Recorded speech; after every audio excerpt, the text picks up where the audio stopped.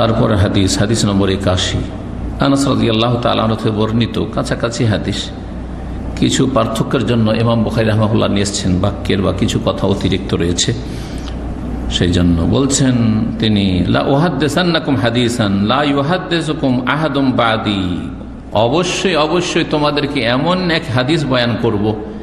যে হাদিস আমার পরে তোমাদেরকে কেউ বয়ান করবে না, কেউ বর্ণনা করবে না। কারণ সেই হাদিসটি আমি জানি রসুল উল্লাহ আমাকে বলেছেন। সামিয়ত রসুল আল্লাহ সাল্লাম ইয়াকুল, আমি আল্লাহ রসুল সাল্লাহ সাল্লামকে বলতে শুনেছি। সরাসরি রসুল উল্লাহ সাল্লাম থেকে শুনে কেউ বর্ণনা করতে পারে না। আনাস থেকে শুনে অন্যরা বর্ণনা করবে। ঠিক আছে, কিন্তু রসুল উল্লাহ সাল্লাম থেকে আমার পরে আর কেউ বর্ণনা করবে, এটা তোমরা শুনতে পাবে না। কারণ আনাস আল্লাহ তালাহ অনেক বয়স পেয়েছিলেন, আয়ু পেয়েছিলেন।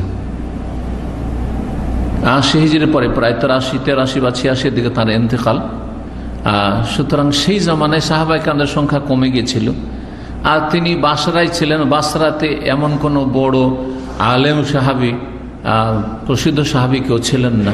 সুতরাং বলছেন যে, হে বাসরাবাসী যখন এই হাদিস বর্ণনা করেন যে, আমার পরে এই হাদিস রসুর উল্লাহাম থেকে সরাসরি কে বলবে?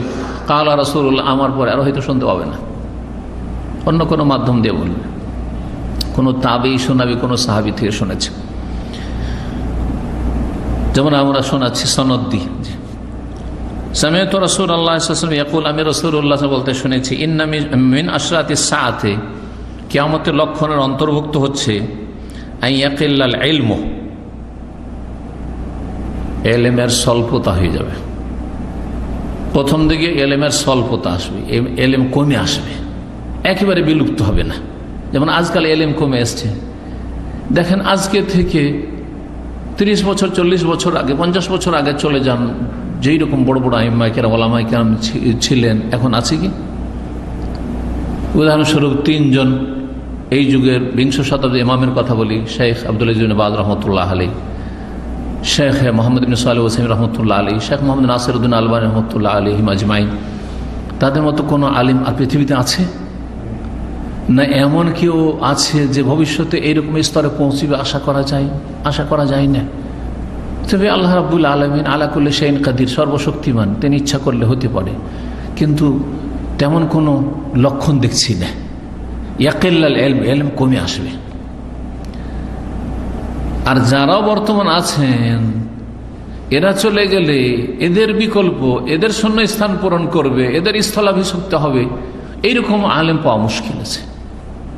মুশকিল আছে। ইয়াকিল্লাল এলম এখানে রয়েছে। সেখানে রয়েছে, আগেরটাতে ছিল যে এলেম উঠে যাবে। তো একসময় এলেম একেবারে বিলুপ্ত হয়ে যাবে, উঠেই যাবে। আর আর কীভাবে উঠবে? বেকাবুদ্দিল আলামা, এর আগে হাদিস আমরা আলোচনা এসছে। যে বড় বড় আলেমরা দুনিয়া থেকে ইন্তেকাল করবেন, তাদেরকে আল্লাহ গ্রহণ করবেন, তারা দুনিয়া থেকে বিদায় নেবেন। এইভাবে উঠে যাবে। অন্তর থেকে এলেমকে আল্লাহ টেনে নেবেন না। ইন আল্লাহ আল্লাহ রবুল আলমেন এলেমকে গ্রহণ করবেন? এলেম উঠে যাবে এটা মানুষের অন্তর থেকে রাতারাতি উঠিয়ে নেবেন না। যে আমার কাছে এলেম আছে আর হঠাৎ করে সকাল হলো আর কিছু এলেম নেই আমার কাছে। এরকম ওটা হবে না।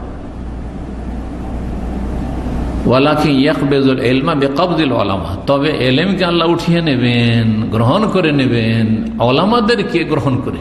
ওলামারা ইন্তকাল করবে। এমনকি পৃথিবীতে মানুষ সমাজে আলেম থাকবে না দেশে? খুঁজে পাচ্ছেন না। কার কাছে মাসলার হল করব, সমস্যা সমাধান নেব? কার কাছে ফতোয়া নেব? জোহালা। তখন সমস্যার সমাধান তো চাইতে হবে। জাহেল, মূর্খ, নেতা আলে মসজিদের এমাম খতিব, তাদের কাছ থেকে তাদেরকে ধর্মীয় নেতা, দিনী, আলেম মেনে নেবে আর তাদের কাছে ফতোয়া নেবে। এলেম যেহেতু নাই তাদের কাছে, কোথা থেকে বলবে যে কোন কোন হাদিসের ভিত্তিতে বলছি? কোন মৌলিক নীতিমালার ভিত্তিতে দিচ্ছি হারামের? জায়েজ না জায়েজের? অসুল বুঝে না? ফাফতা এলেমে এলেম বুঝে না? বিনা এলে ফতোয়া দেবে। জাল কথা বলবে। ফদাল্লু আদাল্লু। নিজেরাও পথভ্রষ্ট হবে এই জাহেল মুফতিগুলো। ও আদাল্লু আর অন্যদেরকে, জনগণকেও গোমরা পথভ্রষ্ট করবে।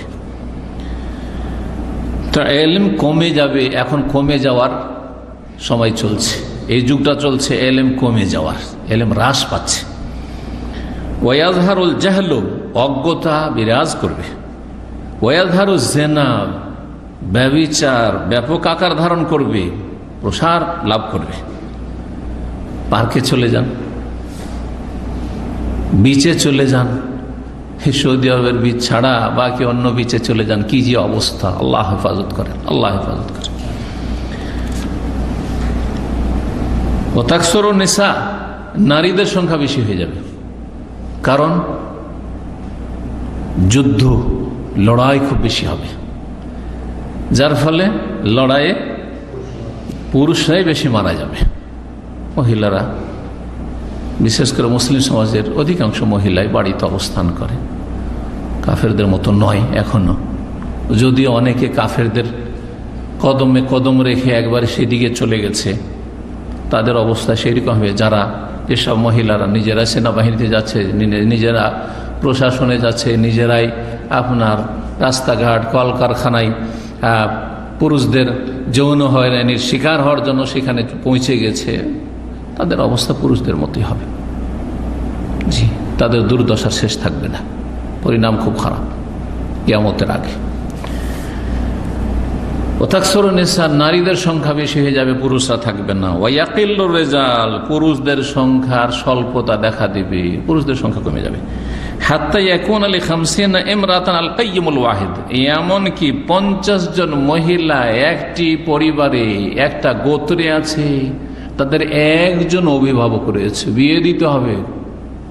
পঞ্চাশ জন মহিলার অভিভাবক খুঁজলে ওই একজন পুরুষ পাওয়া যাচ্ছে।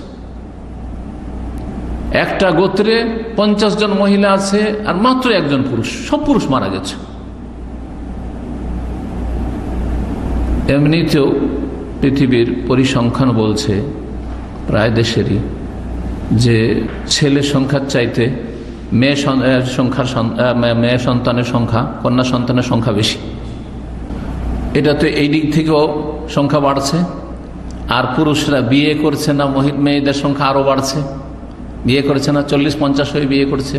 বা লিভ টুগেদার করছে, বিয়ে করেছে না, জেনা ব্যবচার পতিতালয় থেকে কাজ সেরে নিচ্ছে আউজবিল্লা গার্লফ্রেন্ড দিয়ে কাজ সেরে নিচ্ছে, বিয়ে করছে না। আউজবিল্লা আউজবিল্লা এটা মুসলিম সমাজের চিত্র নয়, কাফের সমাজের চিত্র বলছি। বড় দুঃখের বিষয়, আল্লাহ মুসলিমদের হেফাজত করো ফিরে আসার তৌফিক দান করো আর এত বেশি মারামারি, হানাহানি, খোনাখুনি হবে যে পঞ্চাশ জন মহিলা আছে, কিন্তু তাদের দেখাশোনা করার জন্য শুধুমাত্র একটা পুরুষ।